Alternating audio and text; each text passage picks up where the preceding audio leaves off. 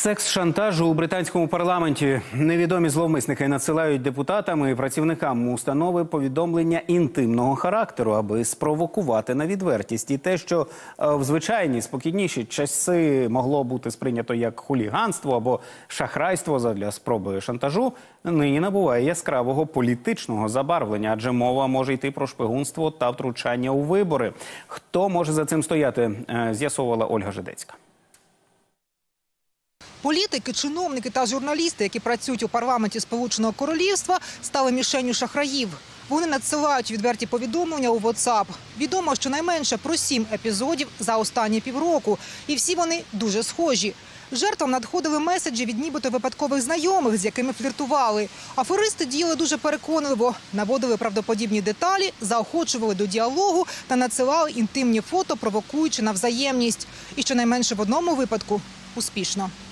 Хто стоїть за цією схемою, з'ясувати поки не вдалося. За словами спеціалістів з кібербезпеки, метою зловмисників могло стати будь-що від банального шантажу та компрометації до шпигунства.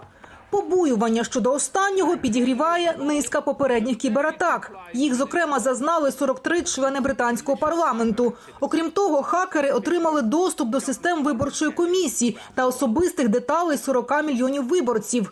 У цьому випадку Лондон впевнений – винний Китай. Я можу підтвердити, що афілійовані з Китаєм державні суб'єкти відповідальні за дві зловмисні кіберкампанії, спрямовані на наші демократичні інституції та парламентарів. По-перше, компрометація виборчої комісії Сполученого Королівства між 2021 і 2022 роками. І по-друге, спроба розвідувальної діяльності проти рахунків парламенту Великої Британії. Схожі претензії до Пекіна висунули США. Тож дві країни запровадили санкції проти кількох осіб та компаній, яку пов'язують з урядом Піднебесної. Йому останнім часом закидають дедалі агресивнішу поведінку у міжнародній політиці. Нові санкції спричинили черговий виток погіршення в китайсько-британських відносинах, які без того не були безхмарними. У Пекіні ж усі звинувачення відкидають. Ми закликаємо США і Британію припинити політизувати питання кібербезпеки, припинити наклепи та дискредитацію Китаю та запровадження односторонніх санкцій, а також зупинити кібератаки проти КНР. Китай вживатиме необхідних заходів для рішучого захисту своїх законних прав та інтересів. Китайські хакери нічим не гребують. До прикладу, теорії змови щодо принцеси Кейт. Після повідомлення, що вона проходить курс хіміотерапії, тисячі тролів із КНР здійняли хвилю хейту в інтернеті. Нині у британському парламенті міркують, як убезпечитися від нових кібератак і знову очікують спроб втручання в електоральний процес. Цього року у Сполученому Королівстві загальнонаціональні вибори.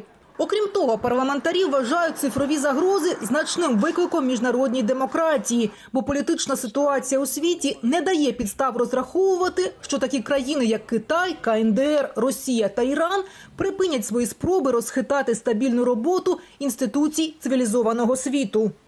Вони намагаються вплинути на вибори та демократії, І враховуючи, що понад 40% демократичних країн світу цьогоріч збираються на голосування, включно з деякими з найбільших демократій, ми всі повинні бути пильними. Це стосується не лише Великої Британії. Розслідування непристойних повідомлень у британському парламенті триває. Та найперша порада від фахівців з кібербезпеки, як убезпечитися від таких злочинів, досить банальна та універсальна і для британських депутатів, і для пересічних громадян з усього світу. Не відповідати на провокативні повідомлення від незнайомців, тим більше в жодному разі не надсилати сумнівним абонентам своїх інтимних світлин і в підозрілих випадках звертатися до правоохоронців. Ольга Жидецька, Юрій Романюк, британське бюро телеканалу Інтер. Подробиці, марафон. Єдині новини.